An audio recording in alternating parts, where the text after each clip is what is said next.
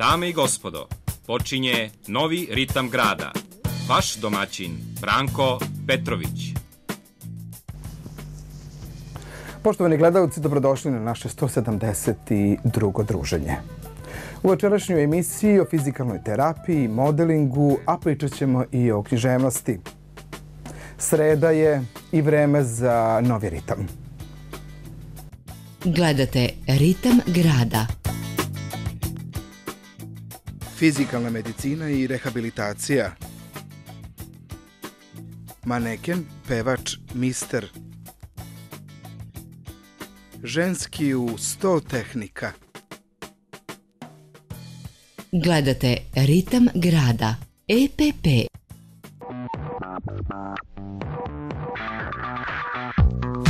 Kompjuterizovani perimetar, funkcionalno ispitivanje očnog živca kod glaukoma i drugih oboljenja očnog živca i promena na mozgu, specijalistička oftalmološka ordinacija dr. Inđić, Branka Radičevića 12, Stara Pazova. Obavezno zakazivanje na broj 317 369. Neprevaziđeni stil za svaku priliku. 022 316 1111 Budite sigurni da ste kupili najbolje. Rezano i saksijsko cveće za sve prilike. Kućna dostava gratis. Da vaše voljeno biće zablista od sreće, darujte mu sa stilom najlepše cveće. Butik Nenikul. Nenikul. Muška, ženska i dečija garderoba po najpovoljnijim cenama. Samo kod nas možete naći Agres brand. Kupite kvalitetnu garderobu po pristupačnim cenama. Butik Nenikul. Stara Pazova. Salon lepote Mimi. Svečane i modne frizure. Nega kose botoksom. Trajno ispravljanje kose. Profesionalno šminkanje. Za sve vaše najvažnije trenutke. Nadogradnja i izlivanje noktiju. Privremene tetovaže. Probajte najnoviji hit. Šišanje svećom. Najbolja nega suve i oštećene kose. Salon lepote Mimi. Ćirle i Metodija 26 310 052 i 06382 11594. Budite lepi i negovani. Vaš salon lepote Mimi. Ja sam dr. Miroslav Ilić. Brinite o vašem zdravlju i javite se pravom lekaru da bi bili na adekvatni način lečeni. Gledajte emisiju u ritmu pazove. Poštovani gledalci, prva tema o kojoj pričamo u današnjoj emisiji je pre svega fizikalna medicina, rehabilitacija i akupunktura. Dr. Vesna Novaković, vlasnica prve privatne specijalističke ordinacije za fizikalnu medicinu i rehabilitaciju u Inđiji. Dobrodošli. Dobro, bolje vas našla. E, doktorka, evo recite nam kada dođemo u Inđiju u Dušana Jerkovića 3, od čega se možemo da se izlečimo ili da ublažimo svoje tegobe? Kad dođete u ordinaciju, prvo znači obavite pregled lekara specijaliste fizijatra, a zatim ukoliko je po- koji ja tako? naravno radim, a ukoliko je potrebno, onda se sprovodi i fizikalna terapija savremenim aparatima u prijatnom ambijentu, u strogo zakazanim terminima. E, imamo oko 15 vrsta struja, ima magnet, ultrazvuk, laser, topla pakovanja, vulkanskim peskom, e, fototerapija i kineziterapija, odnosno vežbe. Jedino nemamo hidroblok, odnosno terapiju vodom, a da i to planiramo u bliskoj budućnosti. Da, e, inače, bolesti koje se mogu lečiti kod nas u ordinaciji, to su sve vrste povreda, kako sportske povrede, tako i povrede zadobijene u saobraćajnom traumatizmu, u svakodnevnom životu, zatim reumatološka oboljenja, bilo da se radi o degenerativnim ili zapaljenskim oboljenjima, neurološka oboljenja, ortopedska oboljenja, osteoporoza, deformiteti kičme i stopala kod dece, zatim praćenje razvoja kod beba, a radimo takođe i preventivne preglede pred upis u školu dece. Evo malo ćemo o, tim, o tom okoštavanju ili tako, degenerativnim e, bolestima, to su i najčešće bolesti. Jeste, degenerativna oboljenja su najčešće reumatološka oboljenja zbog čega se pacijenti i javljaju kod lekara.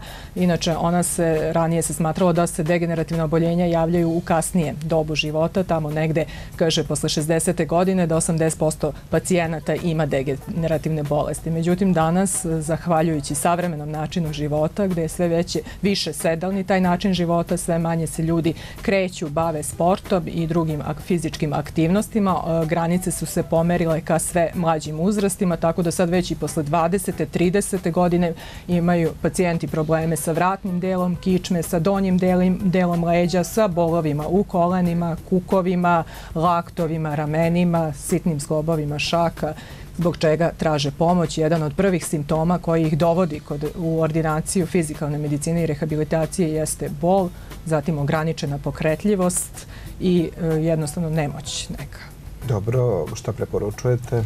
Pa, preporučujem, znači prvo se uradi kompletan pregled, sad u zavisnosti o čemu se radi, uzmemo kompletnu anamnezu i sve, nekad su potrebne i dopunske neke diagnostičke metode, bilo da je rengen, magnetna rezonanca, ultrazvuk i onda kada se postavi diagnoza, onda se da određena medikamentozna terapija, odnosno lekovi i fizikalna terapija već u zavisnosti. Koliko je potrebno, zavisno od problema? Pa u zavisnosti od problema, znači minimum je 10 terapije, bez 10 terapije ne vredi započinjati tretman, mislim to je onako onako knjiški, školski, da deset tretmana, a e sad onda napravimo kontrolu nakon tih deset e, terapija i ukoliko je stanje dobro, to je to, a ukoliko ne, onda ide i produžetak, nekad je potrebno 15, nekad 20, kod povreda nekad i mnogo više terapije, već u zavisnosti o kom problemu se radi. Jer samo zalečimo povredu ili je ona Povreda može, iščezne. povreda iščezne, povreda se izleči. E sad, kod degenerativnih oboljenja tu zalečimo, tu izlečenja nema. Ono što ja volim da kažem svojim pacijentima, ne mogu vas izlečiti, ali vas mogu zalečiti, znači da sprečimo da taj proces napreduje većom brzinom, da ublažimo pacijentima bol, da im povećamo pokretljivost, sve više deformiteta kod dece, kriva kičma, ravna stopala, gojaznost. Jeste. To iz godine u godinu je znači u porastu deformiteti kičme, stopala, gojaznost dece. Opet i tu jedan od faktora koji dovodi do toga je taj savremeni način života što se deca sve manje bave fizičkom aktivnošću, izbegavaju nastavu fizičkog vaspitanja, slabo se bave sportom, puno vremena provode ispred televizora, ispred kompjutera, malo vremena provode u igrama. One igre koje smo se mi igrali kao deca, to su zaboravljene igre, sve više su mobilni u rukama, laptop i kad izađu napolje opet je to telefoni, sedenje, jako malo da su fizički aktivni. A takođe jedan od uzroka fizičke neaktivnosti jeste i gojasnost pored neadekvatne ishrane. Tako da se susrećemo sa velikim problemima lošeg držanja kod dece, deformiteta kičmenog stuba. Tu bi naglasila jedino da postoji razlika između lošeg držanja i deformiteta pravog strukturalnog, pošto kod lošeg držanja dete može aktivno da se ispravi i da zauzme pravilan stav. Međutim, ukoliko e, to duže potraje, ukoliko se ne preduzmu nikakve mere lečenja kao što je ovaj, vežbe, e, kineziterapija ili preporučuje se i plivanje i to dete će vremenom stvoriti te strukturalne promene kada su onda i lečenje, kada je lečenje mnogo teže, nekada je potrebno i nošenje kod skolioze midera, to su plastični mideri koji se moraju nositi danonoćno sve do završetka rasta. Jedino dete skida mider kad se tučšira, čak se i vežbe rade u tom mideru i nije ni malo prijatno, posebno kad su velike vrućine na polju, a nekad u najtežim slučajima mora i operativno lečenje. Tako da je jedan savet tu onako što bi dala da se obavezno e, roditelji ako primete bilo kako odstupanje od pravilnog držanja tela kod deteta, obavezno na vreme jave lekaru, fizijatru da bi postavili pravilnu diagnozu i da bi sproveli adekvatno lečenje. Jer ti deformiteti kasnije dovode mnogo pre do degenerativnih oboljenja koje smo spominjali. E, preventiva vožnje biciklom, šetnja, šetnja plivanje. plivanje. Plivanje jako dobro, leđno, prsno i bavljanje sportom. Decu od malena treba uključivati u sport, znači u početku to može biti karate, balet za devojčice, a kasnije već prema afinitetu deteta i sport treba u stvari da im bude zabava, neka vrsta zabave, jer naravno poboljšava i koordinaciju pokreta i ovaj onaj sport koji bih ja preporučila, ali to od desete godine je odbojka, pošto je jako dobra za, upravo za, taj, uh, za kičmu. Ovaj, pošto asimetrični sportovi, na primjer košarka, rukome, to ne sme kod dece koja imaju skoliozu, pošto još više potencira kada je akupunktura u pitanju, nije standardna i klasična sa iglicama, ali to se više radi se, ali vi to ne radite. Radi se, da, radi se naravno i sa iglicama, ali ja radim laser akupunkturu jer ona je sve više zastupljena i u svetu, pre svega što ima svoje prednosti u odnosu na akupunkturu i iglicama, zato što je bezbolna potpuno metoda, neinvazivna, kraće traje, stimulacija tačaka traje od par sekundi do par minuta, tako da ceo tretman traje 15 minuta i ovaj, čak se uh, uspostavilo da se bolji efekti dobijaju kada se radi laser akupunktura. E, Dođemo, legnemo li tako, na češće položaju, vi usmerite te e, tačke, da, ali tačke tako? koje se, jeste, prvo se, na primjer, i tu isto, kad dođe pacijent kod nešto? mene, e, može se osjećati neka blaga prijatnost, onako, Peckanje? ništa, ne, ne, nema nikakvih ovako. Ovaj, znači, pacijent nema nikakvih nuspojava, pacijent kad dođe, prvo i tu uzmemo anamnezu da vidimo čemu se radi, zbog čega se javlja, pošto preko 50 oboljenja se može vršiti, e, lečiti akupunkturom, pored ovih nabrojenih lokomotornog sistema, može i respiratornog sistema, ginekološka oboljenja, ono što često, na primjer, bronhi- bronhijalna astma se leči sa tim gojaznost i sve i kad se postavi i tu dijagnoza, u stvari kad vidim zbog čega je pacijent došao, onda izaberemo određene akupunkturne tačke koje se tretiraju ide znači prema određenom planu. Obično taj prvi, ta prva serija obuhvata 10 tretmana, svakodnevnih tretmana.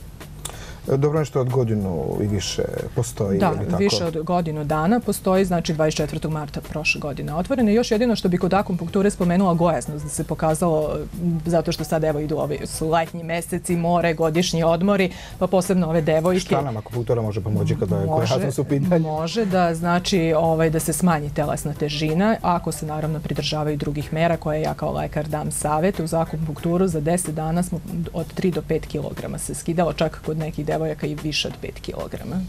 E, skolioza je li tako jedan od e, češćih isto problema pacijenata? Jeste. Skolioza, ona se naziva još i bolest rasta i najviše se ispoljava između 12. i 18. godine, kada je rast i najintenzivniji. To je krivljenje kičme u stranu. Znači, može biti jednostruka u obliku ćiriličnog slova S ili dvostruka u obliku latiničnog slova S. I veliki problem kod skolioze je zato što tu nemamo onu pogrbljenost, pa se teško prepoznaje. Već je obično prvi znak koji se prepoznaje spušteno jedno rame.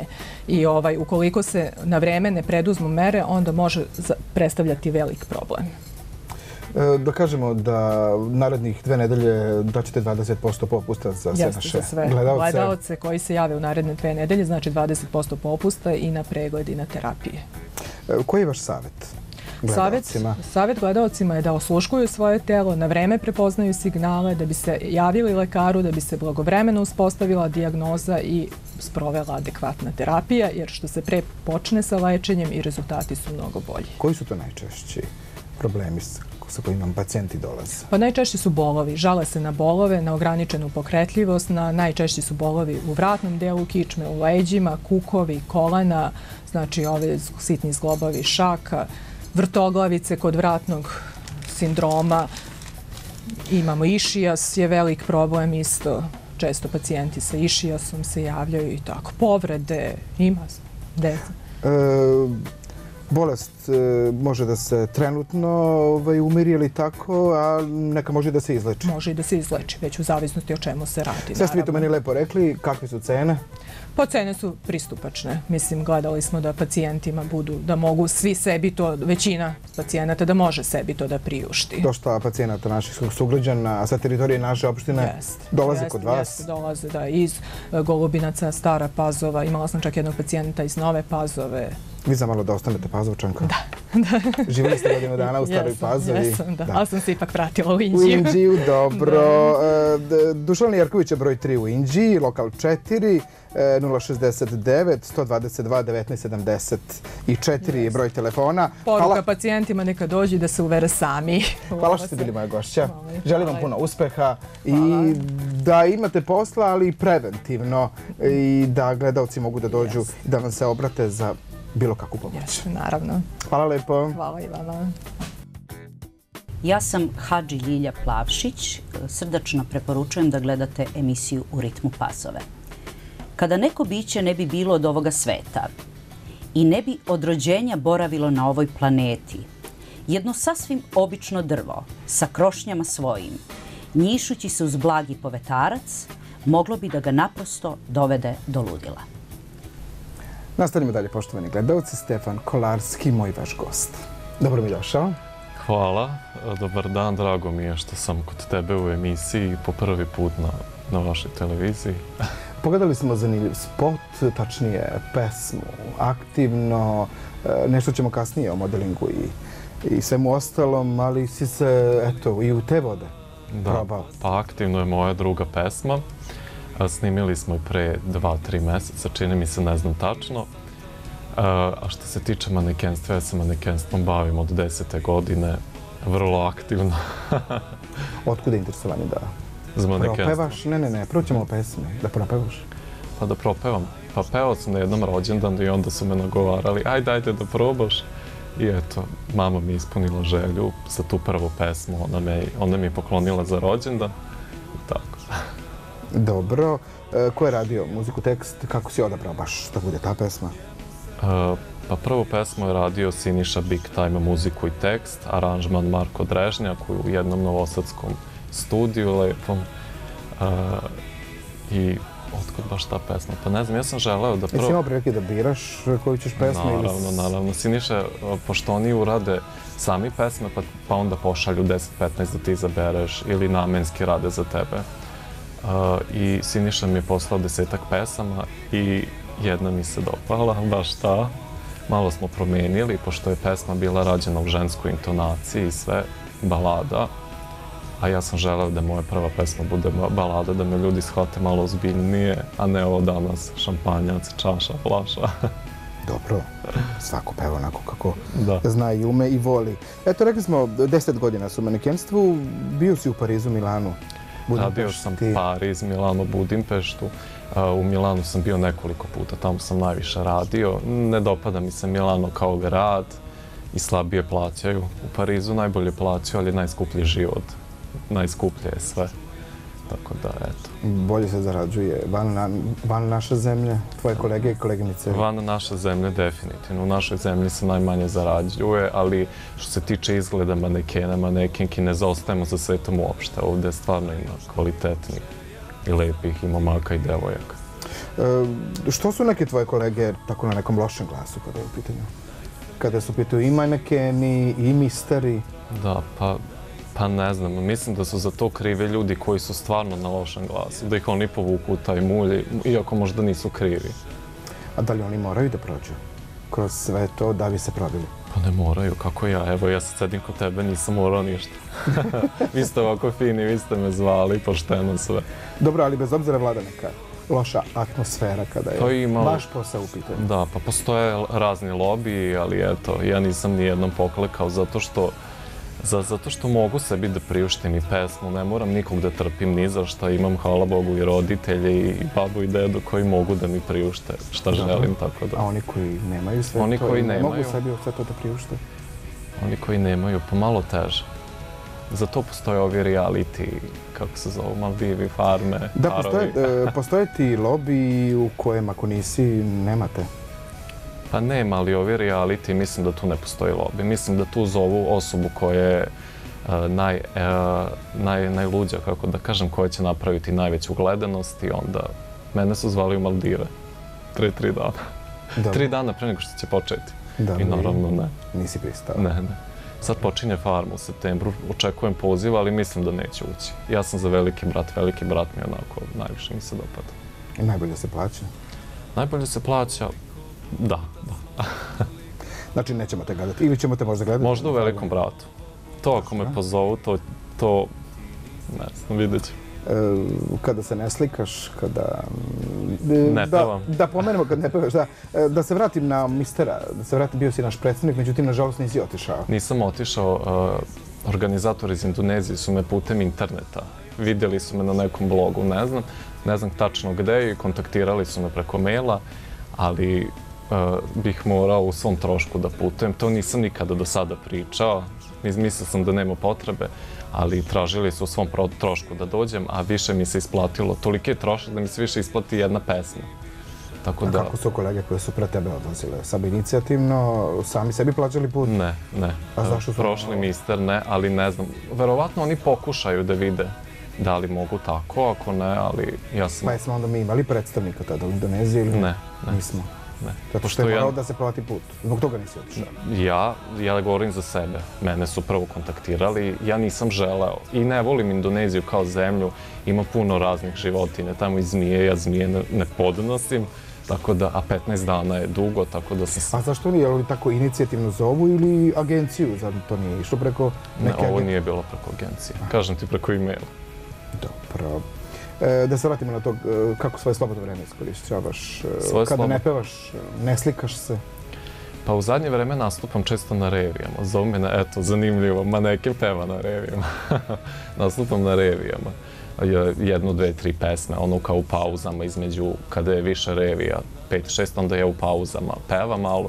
I, a kada nemam nastup ili kada ne pevam ili ne šetam, onda uglavnom učim, studiram turizam.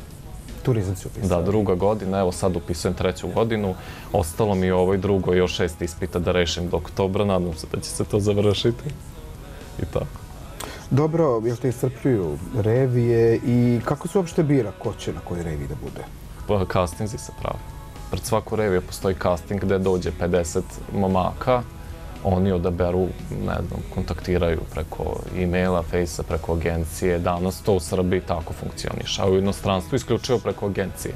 I onda dođe 50 momaka i oni izaberu uživo. Isključivo je casting uživo što se tiče revije. A ovo za mistera je bilo preko... Ne znam da li je neko želeo da zaradi na meni ili ne razumem stvar. Ali uglavnom znam da su me kontaktirali. Koliko je trebalo za plati? Pa nisu oni tražili konkretnu cifru, tražili, rekli su... Uh, to Ne, koliko si trebao platiš za put, hajde tako da. Pa otprilike, eto, neka bude i put i, i te kao franšiza, to se zove franšiza, oni to tako finije zovu, oko 3000 evra, kad, od, tako nekako. Mm. A jedna pesma košta malo manje, pa ja rekao, pa bolje onda pesmu ja da snimim što mi je želja bila. Dobro, onda možda si mogao da nađeš taj novac. e, Neko ko bi ti pomogao, sponsor ili već ko, ili, ili, si- ili si odustao od toga? Pa ne znam. Mislim da ima vremena. Eto, napunio sam 21 godinu prošli mesec, tako da ima vremena. Mogu ja i sa 30 otići i na izbor i, i ko zna. Mada muzika mi je sad onako, više mi se dopada muzika. Ne znam. Kako reaguju na to što Kako maneken reaguju? propevao? Na internetu su me više podržali kao pevača nego kao manekena, ne znam zbog čega. Viš, uh, lepši su komentari za pesme nego ono ranije za prezentacije te Dobro, i fotografije. ugledati spot. Si planirao da snimaš spot. Spot isto do, dosta košta, košta više nego pesma. zato Ali moraš ga imati bez obzira. Pa moram, planiram, planiram, ali planiram novu pesmu i spotu isto vreme.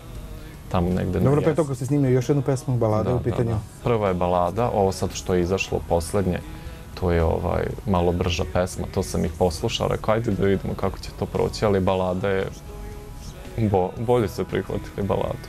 E, jesi smatrao da e, ćeš da plivaš u obe vode jednako ili voliš i manekenstvo i muziku, pa... Iskreno, manekenstvo mi je dosadilo. Dosadilo mi je to slikanje. Slikanje traje od, eto, od 12 popodne do 7 uveče. Jako dugo traje i naporno je i, i, i moraš da, da, da izgledaš dobro tih svih 7 sati. Ili zavisi i ko te fotografiše. Pa zavisi to. E, Stefane, hvala lepo što si bio moj gost. Hvala Prijatelji vama. naše emisije te pozdravljaju. Budi uspešan. Snimi još jednu pesmu, pošalji mi spot pa da prezentujemo Pa gledalcima. snimat ćemo polako, ima vremena. Hvala vam puno. Hvala. Ja sam Ksenija Valavana Jovanović. Ja sam uhvatila pravi ritam, verujem da ste i vi. Zato svi redovno gledamo emisiju u ritmu pazove. dok se sve ne istopi. Još uvek pada, kažem stojeći pored prozora. Što bi rekao Voja Despotov, pada dubok sneg. Odobrava zamišljeno nadnesen nad svojim rukopisom. Počinje. Pada dubok sneg na moju novu košulju. Uveče o tome gledam TV reportažu. Želim da dobijem rak, sifilis, sidu, bilo kakvu prvu nagradu, jer želim da znam koliko dugo ću živeti mlad, jer sam zanesenjak na vetru. Pahulje i dalje lete kao nemirne pčele. Upija pogled u moju nagost, kao da me prvi put vidi progoreva me pogledom. Pohlepa me tera da drsko tražim još. Šta je još belo? Pitam i dalje stojeći pored prozora. Ne smem sada da mislim na tvoje grudi duša, kaže i ustaje govoreći. Prilazi mi s leđa, lepi dlanove na moje grudi. Ne može više od njih da se odvoji. Dok se sve ne istopi, pada dubok sneg. Dok se sve ne istopi, pada dubok sneg. Dok se sve ne istopi, pada dubok sneg. Lepo. Čuli ste, poštovani gledalci, jednu lepo lirsku pesmu. Zlađana Ilić, moja gošća, dobro mi došli. Bolje vas našla, hvala što ste me pozvali. Vaša lepa knjiga, zanimljiv naziv, nešto ćemo kasnije o tome. Ovo je samo jedna lirska pesma koja ima, ostalo su priče. Tako je uvod u ovu knjigu da, dakle čini lirska proza koja je inače inspirisana poezijom Vojislava Despotova. E, dalje u knjizi nalaze se tematski raznorodne priče. Sto tehnika. Da, simpatično je to stvarno, kako svi ovaj, slično reaguju na naslov, ali u suštini to je naravno ideja svakog Naslov privlači Tako je. čitaoca, Tako je. čitateljku. E, dakle, naziv knjige koja je objavljena u Dereti zove se, dakle, knjiga Ženski u sto tehnika. Svakako ovaj, provokativno, složit ćete se i zavodljivo, što jeste zadatak naslova. S obzirom na to da dosta dugo radim i u izdavaštvu, urednik sam inače, e, tako da ovaj, kada radim na rukopisima svojih kolega, pisaca, veoma mnogo zajedno sa njima razmišljamo o naslovu. Jer zapravo naslov je nešto što je svakako lična karta knjige. Te stoga ovaj, moja knjiga nosi naziv Ženski u sto tehnika. Naravno, pomislio bi možda čovjek i pitali su veoma često čitaoci da li to znači da je knjiga tematski namenjena samo ženama ili možda samo muškarcima, da li su teme samo kontroverzne vezane za muško-ženske odnose, naravno koji su uvek aktuelni. E, odgovor na ta pitanja je ne zato što knjiga sadrži više različitih tematskih krugova. E, naravno, potrudila sam se što ste i konstatovali čitajući neke naslove i ove odlomke iz knjige, e, da uopšte toj problematici večno, je tako, muško-ženskih odnosa priđe malo i s jednog humornog aspekta i naravno nisu uvek u pitanju samo muško-ženski odnos, jer u, uopšte ovaj, ta vrsta odnosa, pa nekada i između istih polova, zašto ne, da se malo eto čovek i osvrne na to, ali pored toga u knjizi se nalaze i priče uh, koje se bave životom i prosto psihom umetnika. Uh, te priče su inače u periodici veoma lepo prošle to mi je veoma zanimljivo, one su uglavnom i najkompleksnije. S druge strane, nalazi se u knjizi i priče koje e, zapravo jesu jedna implicitna, ali tačna, a opet ne banalna slika naše svakodnevice, srpske hronične tranzicije. Priče se bave sudbinama mladih uspešnih ljudi u vrtlogu srpske tranzicije. Pored toga, naravno, na jedan zaista e, lični način govorimo o životima junaka priča, napravljen je osvrt i na 90. godine i na ratove čije se posledice, čini mi se, tek sada u svim segmentima društva osjećaju. Ako su mislili gledalci da znaju sve o ženama, ne znaju.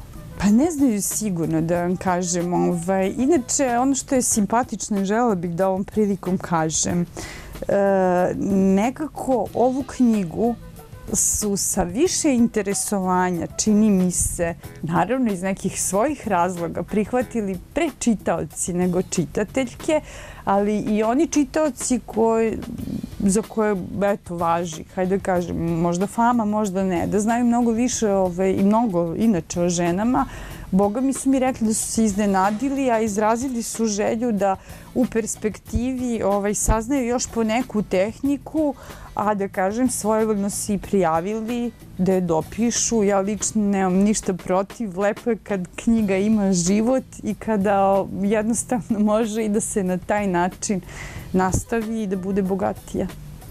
Dobro, evo od zaveta preko brijanja do dodirnih tačaka, igra i šetnja do jutarnjeg seksa, intermeca, zagrelja ljubavi, e, gledalci mogu tu da nađu svašta e, lepo da pročitaju i priče su različite. E, knjiga je raznorodna i to je možda ono što nije, najčešće nije karakteristično u savremenoj srpskoj književnosti, jer pisci nekako gledaju da u jednoj zbirci njihove priče budu po nečemu povezane. E sada, s obzirom na to da je ova knjiga zaista nastajala potpuno spontano, bez opterećenja, dakle, nastale su priče pojedinačno, bez opterećenja da to mora obavezno biti knjiga. E, to je razlog zašto su priče raznorodne, ali mislim da je to za knjigu veoma dobro.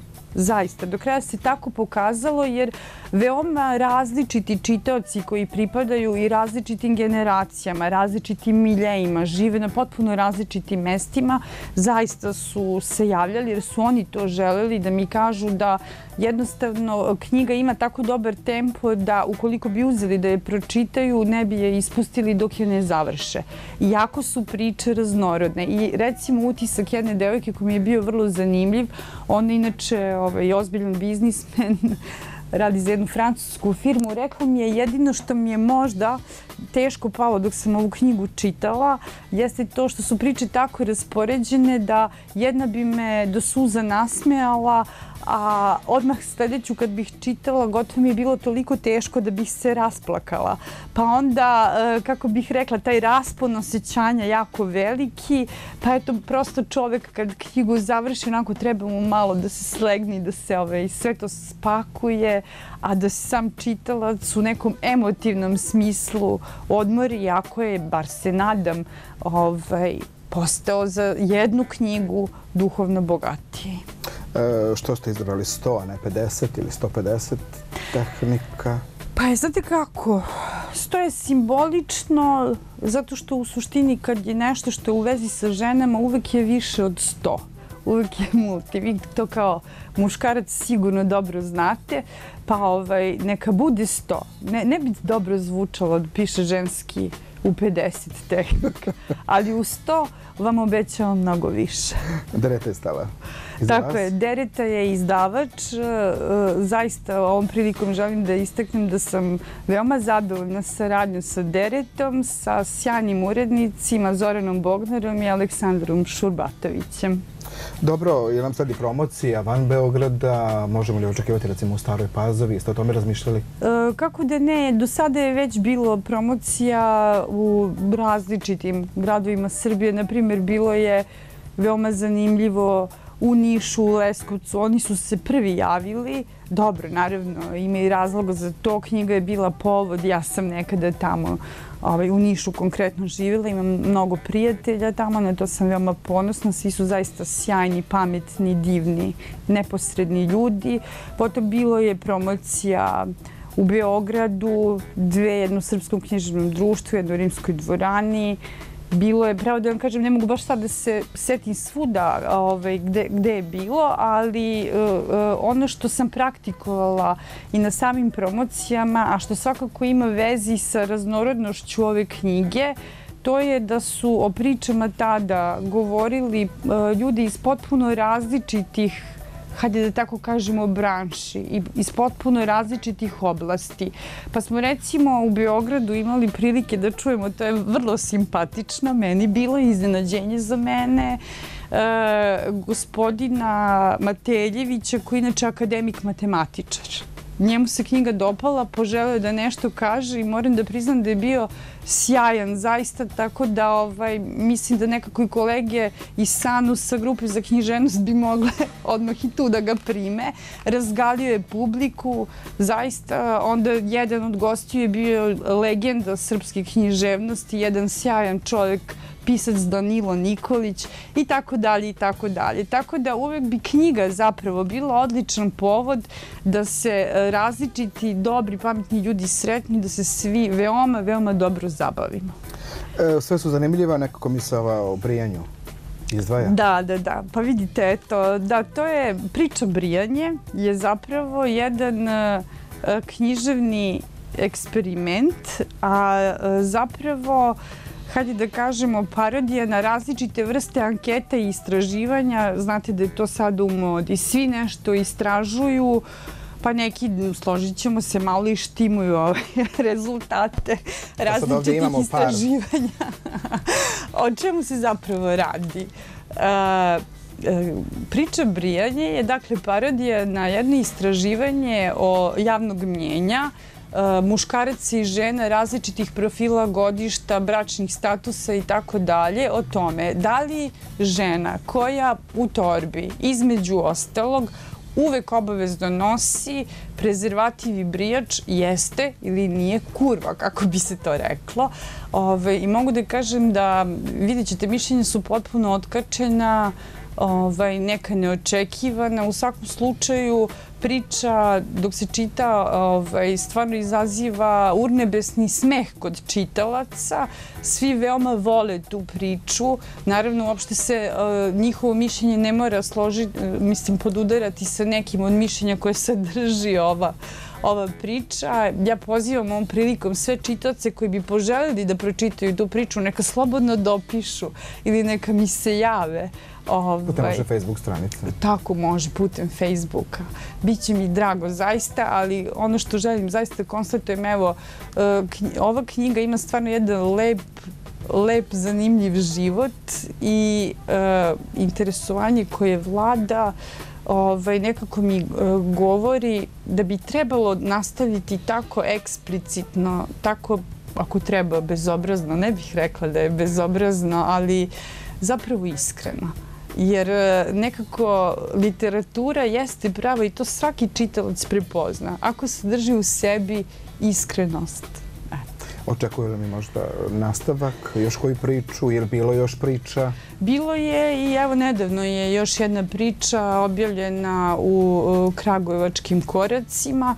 Naravno, ime ih još, bit će ih i po drugim časopisima. Neće biti nastavak knjige ali će biti nove knjige za neko pristojno vreme. Nema potrebe bilo šta forsirati. Mislim zaista da najbolje književnost nastaje onda kada nastaje iz potrebe onog koji stvara u tom trenutku nevezano za to kada vam je posljednja knjiga objavljena.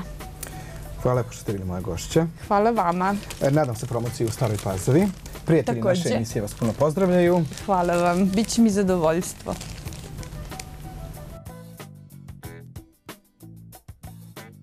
Gledate Ritam grada. EPP.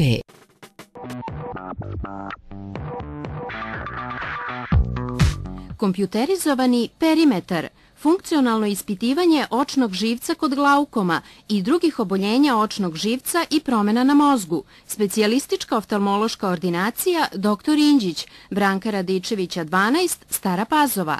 Obavezno zakazivanje na broj 317 369. Neprevaziđeni stil za svaku priliku. 022 316 111 Budite sigurni da ste kupili najbolje.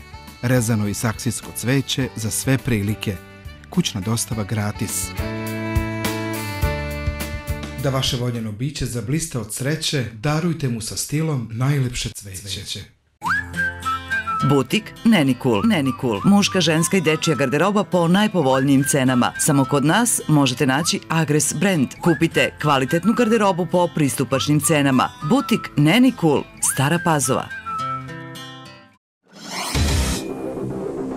Salon lepote Mimi. Svečane i modne frizure, nega kose botoksom, trajno ispravljanje kose. Profesionalno šminkanje za sve vaše najvažnije trenutke. Nadogradnja i izlivanje noktiju, privremene tetovaže. Probajte najnoviji hit, šišanje svećom, najbolja nega suve i oštećene kose. Salon lepote Mimi, Čirle i Metodija 26 310 052 i 06382 11594. Budite lepi i negovani. Vaš salon lepote Mimi. Poštovani gledalci, još jedno druženje polako privodimo kraju. Sastanak zakazujem za sledeću sredu, tačno u 18. Vašoj pažnji preporučujem knjige Radmila Anđelkovića Kratke priče, e, Miljana Markovića Klarina Ljuljaška i predlažem da, da pročitate knjigu Igra senki Sanje Vukosavljević. Hvala vam poštovani gledalci na pažnji, hvala prijateljima emisije. Gledamo se za sedam dana. Svako dobro. Bio je ovo još jedan ritam grada. Ostanite uz program radio televizije Stara Pazova.